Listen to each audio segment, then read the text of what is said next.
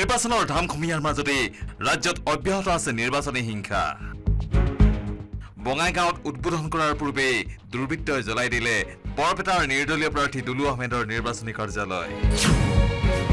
বঙাইগাঁও জিলাৰ কাকাৰাগাঁও গাঁও পঞ্চায়তৰ অন্তৰ্গত ঘিলাগুৰিত নিশা দুষ্কৃতিকাৰীয়ে জ্বলাই দিলে দুলু আহমেদৰ এইটো নিৰ্বাচনী কাৰ্যালয়।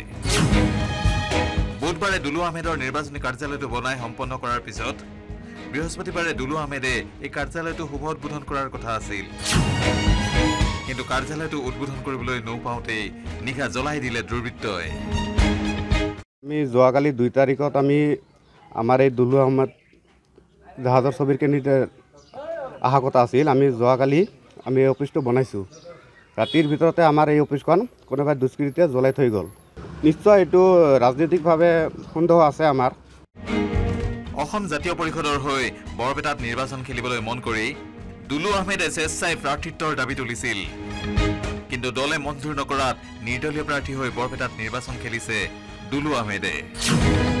নিৰ্বাচনৰ প্ৰাক মুহূৰ্তত দুলু আহমেদৰ কাৰ্যালয় জ্বলাই দিয়াক লৈ এয়া কোনো ৰাজনৈতিক দলৰ ষড়যন্ত্ৰ বুলি সন্দেহ প্ৰকাশ কৰিলে দুলু আহমেদৰ সমৰ্থকে। যিকোনো বেলেগ পাৰ্টীয়ে কৰিছে এইটো নহ'লে কোনোবাই এইটো ৰাজনীতিৰ ভিতৰতে কৰিছে আৰু কি বিৰোধী দলে হ'ব। যিকোনো বিৰোধী দল হ'ব। দুলু আহমেদ আহিছিল নেকি আজি? দুলু আহমেদ অহা নাই আজি অহা কথা আছে।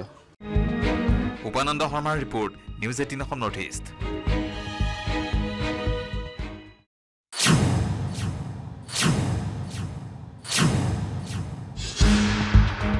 নিৰ্বাচনৰ ধামখুমীয়াৰ মাজতে ৰাজ্যত অব্যাহত আছে নিৰ্বাচনী হিংসা।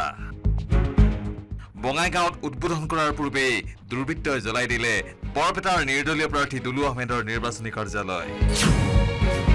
বঙাইগাঁও জিলাৰ কাকাৰাগাঁও গাঁও পঞ্চায়তৰ অন্তৰ্গত ঘিলাগুৰিত নিশা দুষ্কৃতিকাৰীয়ে জ্বলাই দিলে দুলু আহমেদৰ এইটো নিৰ্বাচনী কাৰ্যালয়। বুধবাৰে দুলু আহমেদৰ নিৰ্বাচনী কাৰ্যালয়টো বনাই সম্পন্ন কৰাৰ পিছত বৃহস্পতিবাৰে দুলু আহমেদে এই কাৰ্যালয়টো শুভ উদ্বোধন কৰাৰ কথা আছিল। কিন্তু কাৰ্যালয়টো উদ্বোধন কৰিবলৈ নৌপাওঁতেই নিশা জ্বলাই দিলে দুৰ্বৃত্তই। আমি যোৱাকালি দুই তাৰিখত আমি আমাৰ এই দুলু আহমেদ জাহাজৰ ছবিৰ কেন্দ্ৰিতে অহা কথা আছিল। আমি যোৱাকালি আমি এই অফিচটো বনাইছোঁ। ৰাতিৰ ভিতৰতে আমাৰ এই অফিচখন কোনোবাই দুষ্কৃতিয়ে জ্বলাই থৈ গ'ল। নিশ্চয় এইটো ৰাজনৈতিকভাৱে সন্দেহ আছে আমাৰ। অসম জাতীয় পৰিষদৰ হৈ বৰপেটাত নিৰ্বাচন খেলিবলৈ মন কৰি দুলু আহমেদে স্বেচ্ছাই প্ৰাৰ্থিত্বৰ দাবী তুলিছিল। কিন্তু দলে মঞ্জুৰ নকৰাত নিৰ্দলীয় প্ৰাৰ্থী হৈ বৰপেটাত নিৰ্বাচন খেলিছে দুলু আহমেদে। নিৰ্বাচনৰ প্ৰাক মুহূৰ্তত দুলু আহমেদৰ কাৰ্যালয় জ্বলাই দিয়াক লৈ এয়া কোনো ৰাজনৈতিক দলৰ ষড়যন্ত্ৰ বুলি সন্দেহ প্ৰকাশ কৰিলে দুলু আহমেদৰ সমৰ্থকে। যিকোনো বেলেগ পাৰ্টীয়ে কৰিছে এইটো নহ'লে কোনোবাই এইটো ৰাজনীতিৰ ভিতৰতে কৰিছে আৰু কি বিৰোধী দলে হ'ব। যিকোনো বিৰোধী দল হ'ব। আহমেদ অহা নাই আজি অহা কথা আছে।